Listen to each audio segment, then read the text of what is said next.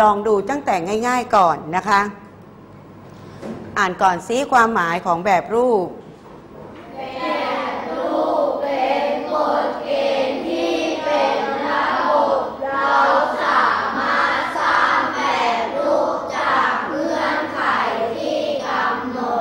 มันจะต้องมีเงื่อนไข และแต่ละจำนวนต้องสัมพันธ์กัน ไม่ใช่เรานึกอยากจะใส่เลขอะไรลงไป ก็ใส่ก็ใส่แล้วก็ไปถามเพื่อนว่าตัวถัดไปคืออะไร แล้วเพื่อนคิดไม่ออกก็บอกว่า อะไรก็ได้ก็ใส่ไปก็ถูกต้องใช่ป่ะ ไม่ใช่นะคะ ดังนั้นต้องมีกฎมีเกณฑ์ วางเป็นระบบแล้วแต่ละจำนวนต้องสัมพันธ์กัน ถ้าเป็นรูปภาพวันนี้กว่ารูปภาพมาให้อย่างเช่น รูปที่หนึ่งรูปที่หนึ่งนี้มีวงกลมกี่ลูก รูปที่หนึ่งให้สัมพันธ์กันนะ มีรูปวงกลมหนึ่งรูป ต่อไปรูปที่สอง รูปที่สองมีรูปวงกลมกี่รูปสี่รูปจำไว้นะ รูปที่สามมีรูปวงกลมกี่รูป นักเรียนลองหาความสัมพันธ์ของสามรูปนี้ก่อน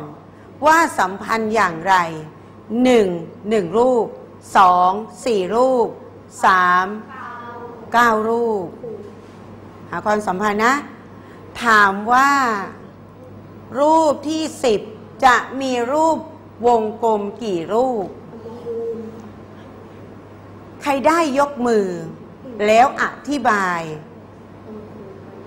อ่าลูกหิน ลูกหินอธิบายเอามาคูณกันครับเอาอะไรมาคูณต้องอย่าบอกแต่เครื่องหมาย ต้องรู้ด้วยว่าทำอย่างไร เอาแบบรูปมาคูณกับ อะอะไรคูณอะไรบอกมาสิ แบบรูปคูณกับหนึ่งอะอะไรอย่างเช่น รูปที่หนึ่งคูณกับหนึ่งต่อไปสองคูณด้วยสองถ้าแบบรูปที่สองจะเห็นว่ามันมีกี่แถวสี่สองสองแถว ก็คูณกับสองจะได้เท่ากับสี่สี่ต่อไปอธิบายต่อถ้ารูปที่สามที่เห็นอยู่อธิบายเลยค่ะสามคูณด้วยสามเพราะว่ามีกี่แถวสามตัวนี้มาจาก แถว แถวก็รูปที่สามเอาสามคูณกับสามสาม หาได้ไหมคะลูกหินว่ารูปที่สิบจะมีรูปวงกลมกี่รูป หนึ่งร้อยหนึ่งร้อยรูปอะหยุด เมื่อกี้ลูกหินอธิบายแล้วนะ หารูปที่หนึ่งเอาหนึ่งรูปที่หนึ่งคูณกับหนึ่งแถวหนึ่งรูป รูปที่สองคูณสองแถวเป็นสี่รูป รูปที่สามมีสามแถว คูณสามได้เก้ารูป รูปที่สิบลูกหินเฉลยไปแล้วหนึ่งร้อยรูปถามว่าหนึ่งร้อยนี้มาจากไหน ต้องอธิบายได้แล้ว เนื่องจากเขาอธิบายไว้แล้วอะใครอธิบายต่ออะธนาทิพย์ได้อย่างไรคะเอารูปที่สิบคูณกับแถวที่สิบเอารูปที่10คูณกับ10แถว ถูกไหมคะ10คูณ10ได้เท่ากับหนึ่งร้อย100ปรบมือให้ทั้งคู่ค่ะ เก่งมากคุณครูสังเกตนะคะธนาทิพย์เนี่ยจะนั่งอยู่ด้านหน้าสุดของห้องเพราะตัวเล็ก แต่เวลาคุณครูสอนแล้วธนาทิพย์เนี่ยจะไหวพริบดี เวลาพูดปั๊บแล้วจะคิดปุ๊บเลย ซึ่งหลายคนยังนั่งนั่งคิดอยู่ก่อน แต่ธนาทิพย์จะบอกเลยว่าอ๋ออย่างเงี้ยอย่างเงี้ยอย่างเงี้ยตรงนี้เนี่ยจะเป็นจุดสำคัญที่ทำให้เราเรียนคณิตศาสตร์เก่งขึ้น เพิ่มอีกนิดเดียวค่ะกล้าแสดงออกกล้าแสดงความคิดเห็นจะถูกหรือผิดไม่เป็นไร แต่คนที่นั่งเงียบๆเฉยๆไม่คิดไม่พูดไม่ทำเก่งไปไม่ได้ ฝากไว้นิดหนึ่งอะง่าย ๆอีกค่ะ ยังง่ายอยู่ ครูให้จำนวนมาสี่จำนวน 56 66 76 86 หาคนเก่งอธิบาย ว่าสี่จำนวนนี้มีความสัมพันธ์กันอย่างไรอะส่งไปไปแถวที่สองแถวที่สองเนี่ยหาคนเก่งขึ้นอธิบายหนึ่งคนสี่คนเนี่ยเลือกมาหนึ่งคนง่าย ๆ ความสัมพันธ์อะส่งไม้มาเลยค่ะ ผู้หญิงคนนี้ เรียนแล้วเราจะบอกว่าไม่ได้ไม่ได้ค่ะ ไม่ได้ตรงไหนเดี๋ยวครูได้ชี้แนะสี่จำนวนนี้56 66 76 86เกี่ยวข้องกันอย่างไร เพิ่มทีละสิบเอค่ะอแค่นั้นเอง เพิ่มครั้งละ10รีบบอกก่อนเลยไม่ได้ต้องได้ เพิ่มทีละ10ถูกต้องไหมคะ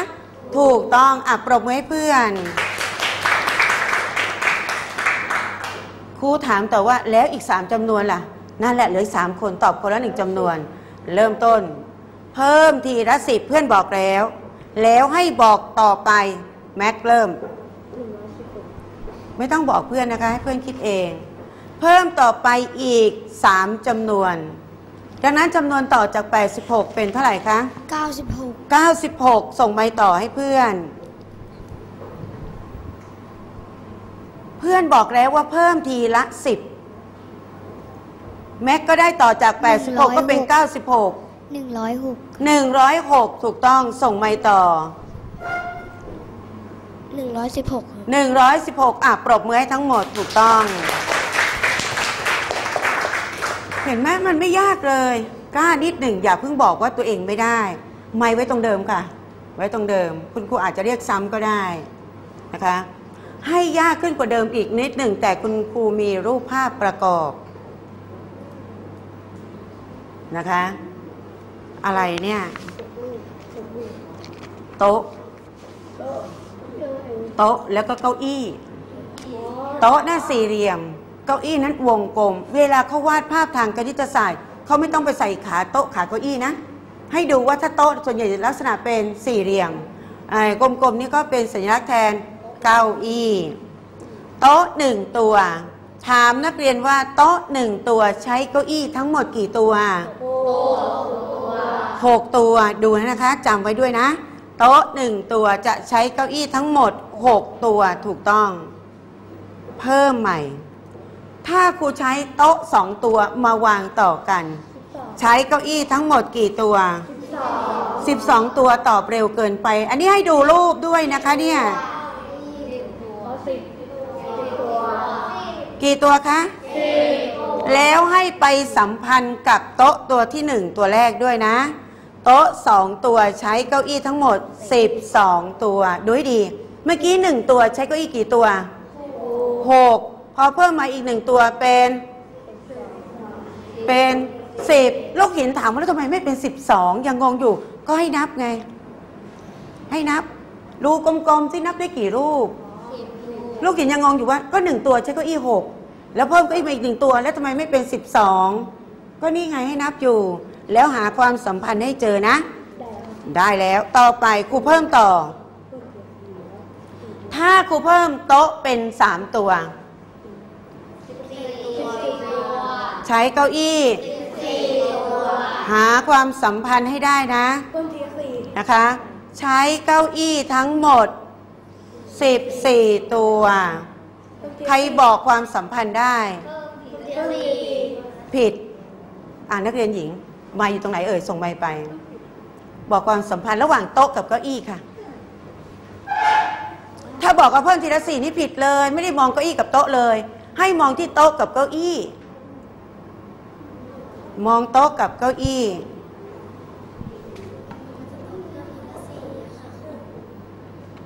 อะดู ดูใหม่นะ โต๊ะหนึ่งตัวใช้เก้าอี้ทั้งหมดหกพอโต๊ะสองตัวใช้เก้าอี้ทั้งหมดสิบตัว พอโต๊ะสามตัว ใช้เก้าอี้ทั้งหมดสิบสี่ตัว บอกความสัมพันธ์ ระหว่างโต๊ะกับเก้าอี้ค่ะเขาจัดวางอย่างไร ว่าไงคะ ใครสรุป อะ เอาไม้มาอลงกรณ์อ๋อธนาธร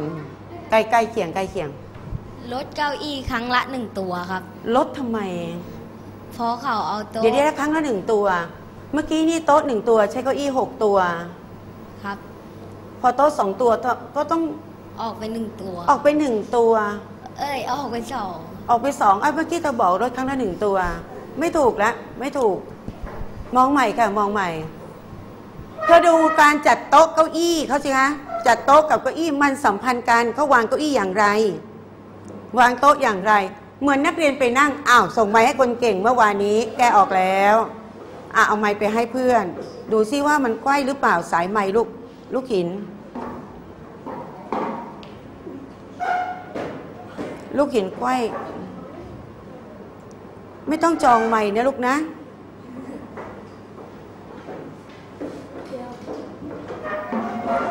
อ้าวมองความสัมพันธ์ค่ะ โต๊ะหนึ่งตัวสามารถวางเก้าอี้สองมุมได้ครับ เมื่อเอาโต๊ะมาต่อกัน เก้าอี้ที่อยู่มุมอีกกับมุมมุมตรงกันข้ามกัน จะก็จะไม่สามารถวางเก้าอี้ได้ครับเออใช่ถูกต้อง ก็ตอนแรกโต๊ะโต๊ะสองตัวใช่ไหมวางเก้าอี้หัวท้ายวางได้ใช่ไหมครับ แต่พอเอาโต๊ะมาวางออกเก้าอี้ไม่เถิบออกมันก็ชนพังใช่ไหมครับ ใช่มันต้องหยิบเก้าอี้ออกถูกไหมครับออกไปแล้วไปวางหัวโต๊ะใหม่ใช่ไหมคะครับพอไปวางอีก3ตัวแล้วก็ต้องหยิบเก้าอี้ที่อยู่ตรงท้ายหัวท้ายใช่ไหมด้านใดด้านหนึ่งออกจึงเอามาต่อกันได้ ถ้าไม่หยิบออกวางต่อได้ไหมไม่ได้ ไม่ได้สรุปแล้วที่มาตรฐานเลยโต๊ะแต่ละตัวต้องใช้เก้าอี้เท่ากันเลยเนี่ยอย่างน้อยต้องใช้เท่ากันแล้วเนี่ยโต๊ะละกี่ตัวเก้าอี้ โต๊ะหนึ่งตัวต้องใช้เก้าอี้อย่างน้อยกี่ตัว ห้าตัวครับ กี่ตัว แต่ละตัวที่เท่ากันทุกตัวที่วางต่อกัน ที่วางต่อกันทุกตัววางเท่ากัน ใช่ครับ อะวางสิ ได้ครับวางเลย โต๊ะหนึ่งตัวโต๊ะเก้าอี้จะต้องเท่ากันเลยทุกตัวเลยนะคือ วางเก้าอี้กี่ตัวสี่ตัวครับสี่ตัว เพราะทุกตัวจะต้องเท่ากันหมด ยิ่งไปอยู่ตรงกลางตรงกลางตรงกลางเลยมันก็ต้องเท่ากันใช่ไหมคะ แต่สิ่งที่เพิ่มมานั่นคือหัวกับท้าย ดังนั้นครูให้เธอให้นรงค์ธรเอาเก้าอี้ไปวางต่อกันเนี่ยยาวสักกี่ตัวก็ได้ แต่ละตัวก็ต้องใช้เก้าอี้กี่ตัวสี่สี่ตัวตัวแล้วก็ไปต่อหัวท้ายอีกกี่ตัวสองตัวสองตัวปรบมือให้นรงค์ธรค่ะเก่งมาก นี่แหละเขาเรียกว่าแก้ปัญหาแบบคณิตศาสตร์อ่าอย่าแบบมั่วๆไม่เอานะคะ วันนี้พีไม่ลงมาเลย พี่บอกก็เมื่อวานก็ยังมั่วๆอยู่เหมือนกันแหละนะคะอ่านักเรียนดู โต๊ะสามตัว ใช้เก้าอี้ทั้งหมด